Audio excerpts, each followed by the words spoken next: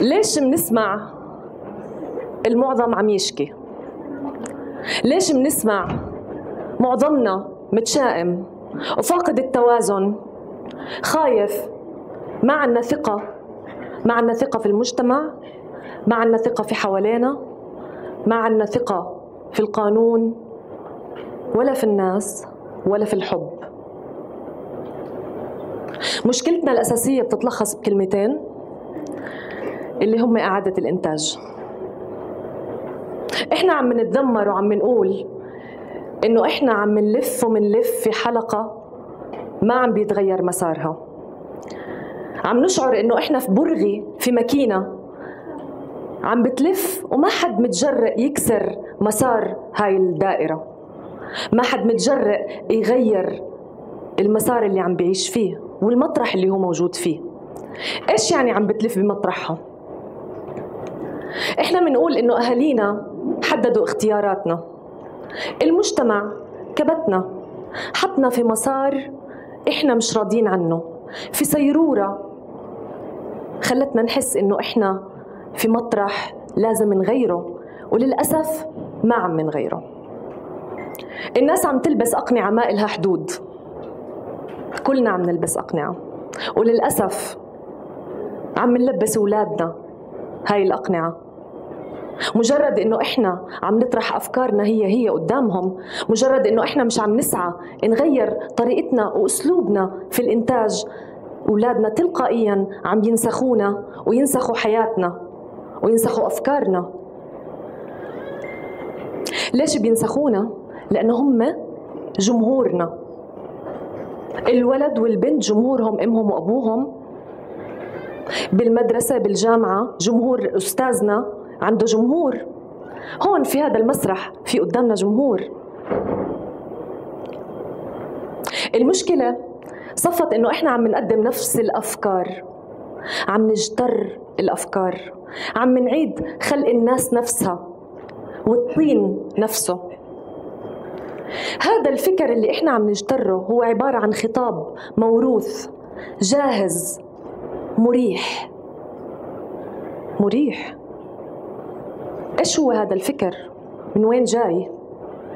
هذا الفكر جاي من الشخص اللي حامل الميكروفون من البرفورمر من الأم والأب اللي قدامهم هدول الجمهور. إحنا إذا بدنا نفكر لازم نتطلع ونشوف مين قدامنا بطل قصتنا. ولحتى نبدأ التغيير لازم نبدأ في نفسنا. نحمل الميكروفون تبعنا ونكون إحنا أبطال قصتنا. قبل كم سنة كنت عم بمرق في مشكلة. كانت مشكلة صعبة شوي. كنت حاسة إنه أنا عم بمشي وبغرق في بحر من طين. هذا بحر الطين كان عميق كتير. كنت حاسة إني أنا في أي لحظة رح أوقع فيه. كنت حاسة إني أنا عالقة فيه. وكنت مش ما كنت قادرة ألاقي التوازن. دورت على سبب أتوازن فيه. فكرت إيش في إشي في حياتي ممكن يعطيني التوازن وأنا في بحر الطين. فكرت حوالي قلت أوكي أنا هلأ عم بشتغل. وفي عندي شغل مأمن لي دخل شهري وهذا الشغل بدي أعتبره العصاي اللي رح أتوازن فيها في بحر الطين. رغم إنه هاي الخشبة أو هاي العصاي فيها شناتير ونتوءات وعم بتنزل لي الدم من إيدي. رغم هذا الوجع من تمسكي في السبب اللي عم بيخليني أتوازن إلا إني قدرت أطلع من الأزمة اللي أنا كنت فيها. بعد ما حسيت إنه طيب أنا توازنت وكل شيء تمام فكرت إنه أنا في مطرح تاني في الحياة. في مسار تاني في الحياة في وجع تاني في طين تاني. ما بدي أدور على خشبة. وأنا بدي ألاقي سبب من جواي يعطيني التوازن. لأنه بهديك الفترة كان الشغل هو هاي الخشبة. بفترة تانية ممكن الخشبة هاي تكون شخص شريك صديق حبيب أب أم أخت شغل مصاري أي إشي تاني. وأنا ما بدي أركن على إشي. لأنها رح تضلها خشبة ورح تضل تجرح لي إيدي. من هديك اللحظة قررت إني أنا أزرع شجرة جواي وأطول التوازن من داخلي. ليه؟ لأنه بكل بساطة بدي أكون أنا بطلة قصتي قديش إحنا صعب نتحايل على حالنا. قديش صعب نشوف حالنا من بعيد. قديش صعب نكذب على نفسنا ونقول أنا بدي أنصح حالي وأعمل في نصيحتي لنفسي مثل ما بننصح غيرنا وبنتفلسف على غيرنا. فلسفتنا على غيرنا كثير أجرأ من فلسفتنا على حالنا إنه إحنا نقدم نصايح للي حوالينا. كثير أسهل علينا إنه إحنا ننصح حالنا لأنه قد ما نصحنا حالنا ما رح نسمع حالنا منيح. كيف بدي أطلع على حالي من بعيد؟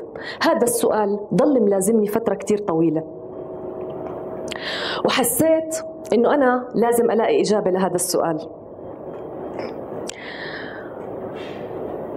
لحد ما مرة كنت عم بدور في غرفتي وبعزل فيها وبرتب في دروجي وورائي لقيت صورة لإلي وأنا صغيرة.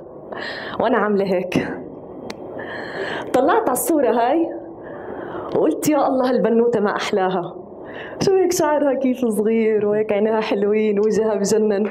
وصرت أحكي وصرت أحكي معها زي كأنها مش أنا ابدا يعني تعاملت معها على إنها حدا بعيد تماما عني ومفصول تماما عن ذاتي.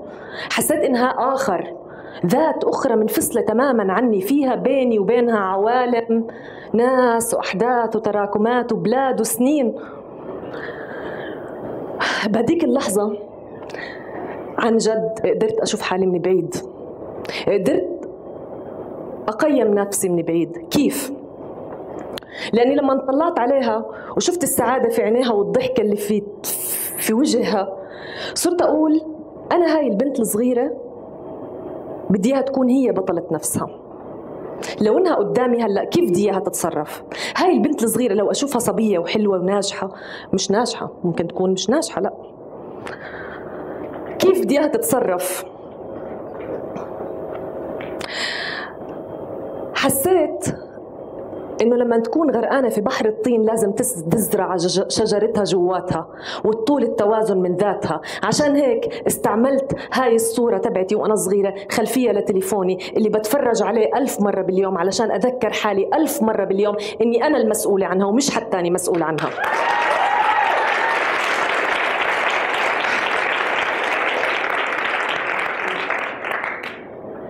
حسيت إنه أنا قد إيه لازم أحبها وأحب حالي.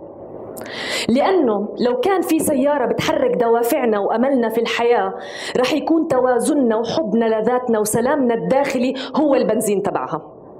في هديك اللحظة قررت أني أكسر الحلقة وأخلق أسلوب جديد في التعامل مع ذاتي أولا ومع غيري ثانيا. علشان هيك رسمت رسمت ونجحت ودرست وتفوقت. عشان هيك أنا واقفة هون اليوم.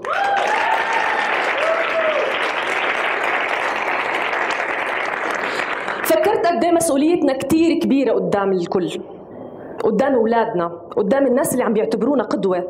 قدام الناس اللي عم تطلع علينا وبتقول إنه أنا هذه الإنسانة عم بشوفها قدوة في حياتي أو هذا الإنسان هو نموذج لحياتي. فكرت قد إيه مسؤوليتنا كبيرة وما بدي أكون في مطرح عم بعيد إنتاج. ما بدي أكون في مطرح عم بكرر حد.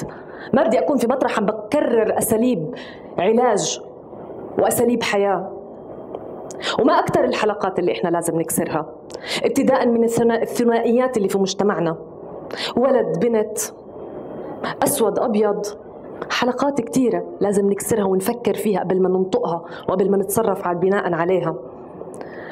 هاي الثنائيات مثل كمان الحلقات اللي إحنا لازم نكسرها مثل الأمثال الشعبية. اللي في منها أمثال بنتعامل معها على انها نصوص مقدسة وهي فعلا أشياء بس بتحطمنا من جوا. ليش بنتعامل مع هاي الأشياء وبنتعامل معها كحلول؟ أول شيء لأنها مريحة موجودة اوريدي بدناش نشتغل بدناش نفكر. والمألوف مريح. والإشي المألوف مريح بالنسبة لإلنا. وأنا ومن خلال عيوني بشوف إنه كل إشي مريح مش منيح. ليه؟ لأنه كان الأسهل علي إني أنا أضلني في بحر الطين. وأقول عادي بدور على خشبة زي زي غيري وبستند على غيري. مثل ما تعودنا إنه نسند على غيرنا. نمسك إيد غيرنا. استني أمك استني أبوك استني أخوك استني مش عارفة مين. لا. أنا ما بدي أعيد أسلوب النجاة ولا بدي حد يمسك إيدي. ولا بدي شيء لو يناولني أي شيء أتوازن فيه. وهذا الإشي كتير صعب بس الإشي الصعب عبارة عن مجهود يومي. وبده أوقات لحتى يصير تلقائي وعفوي وطالع منا ومن ذاتنا. وما بده جهد. لهيك لازم نوقف إعادة الإنتاج لأنه حاليا المنتوج ضعيف. ولازم نفكر بطريقة نكسر فيها النمط الإنتاجي بكل المستويات خصوصا الإنتاج الفكري تبعنا. وشو عم نورث من فكر للي حوالينا؟ شو عم نعطي أفكار لغيرنا؟ لأنه إحنا محتاجين منتوج قوي. إحنا محتاجين منتوج يقدر يتحدى الكون ويتحدى الطين اللي في الكون الطين اللي على هيئة البشر والطين اللي عم بغرق هدول البشر. شكرا.